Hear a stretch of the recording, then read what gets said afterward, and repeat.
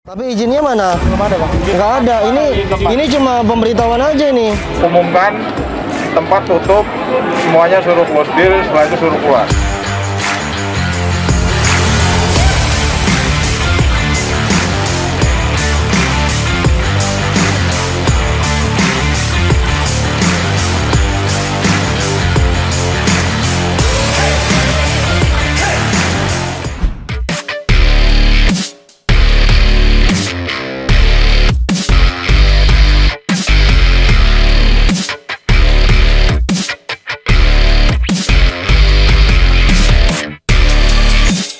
Malam hari ini eh, kita melaksanakan aksi dari hasil koordinasi yang mana sudah kita dengar bersama kemarin rapat yang dipimpin oleh Bapak Direktur eh, Narkoba dan juga Direktur Kriminal Khusus.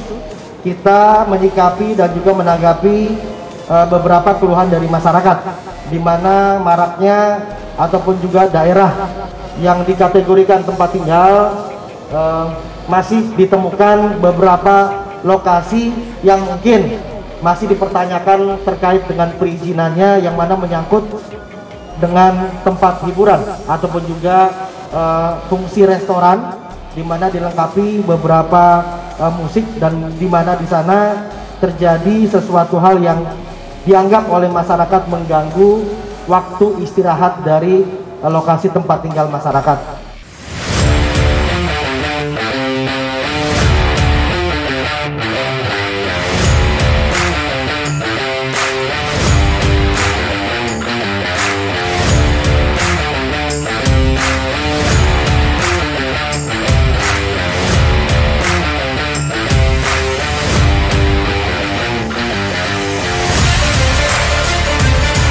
Melakukan pengecekan perizinan saja. Boleh. Ya karena ada beberapa informasi dari masyarakat ya daerah Gunawarman dan Senopati terkait dengan perizinannya tidak sesuai dengan peruntukannya. Ya.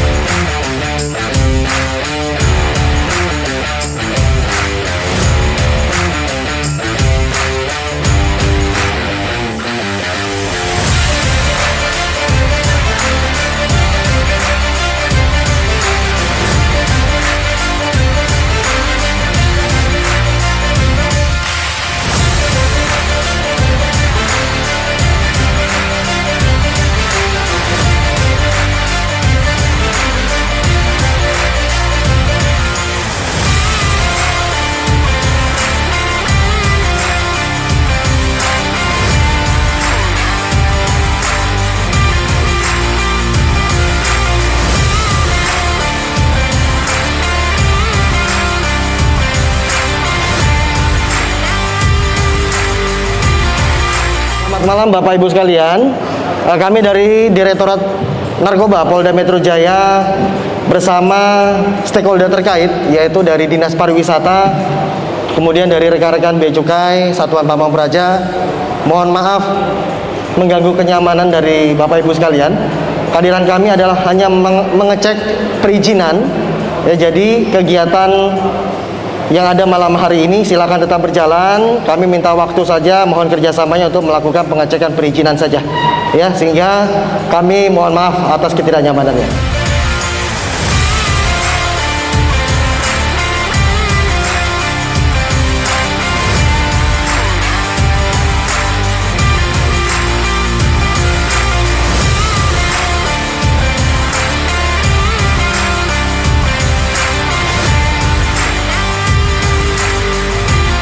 Izinnya mana? Belum ada bang. Nggak ada. Ini ini cuma pemberitahuan aja ini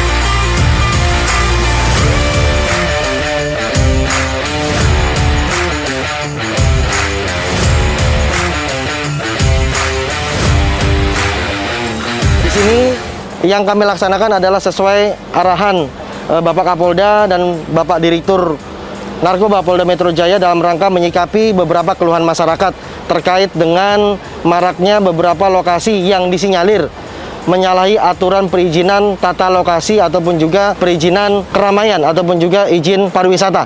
Eh, sehingga kami sudah melakukan pengecekan dari beberapa titik ada yang kita lakukan uh, penindakan yang mana diwakili oleh Bapak eh, Satuan Pamong Praja yang hadir di sini disegel sementara dan kami juga melakukan tindakan mempolis lain lokasi tersebut karena menyalahi beberapa aturan yang terkait dengan tidak dimiliki surat tanda usaha pariwisatanya dan juga e, beberapa yang ditemukan oleh rekan-rekan bea cukai minuman beralkohol yang disinyalir menggunakan cukai palsu.